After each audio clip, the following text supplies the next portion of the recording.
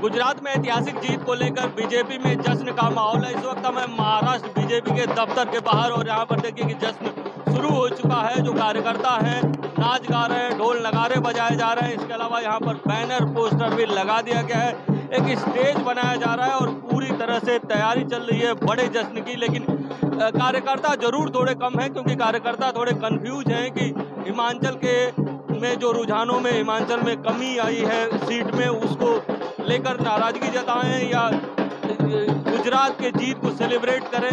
यही कारण है कि कार्यकर्ता बड़ी संख्या में नहीं आए हैं, लेकिन जैसे जैसे ये दिन चढ़ेगा, कार्यकर्ता यहाँ पर बड़ी संख्या में आएँगे और अभी स्टेज बनाया जा रहा है।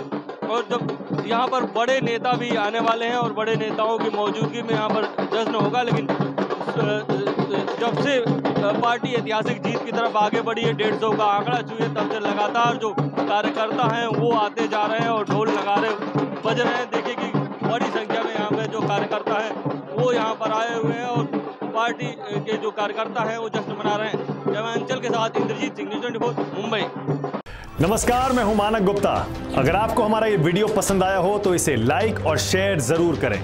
और हाँ हमें सब्सक्राइब और फॉलो करना ना भूलें, ताकि आप देश और दुनिया की कोई खबर मिस ना करें। तो जुड़े रहिए हमारे साथ और देखते रहिए न्यूज़ 24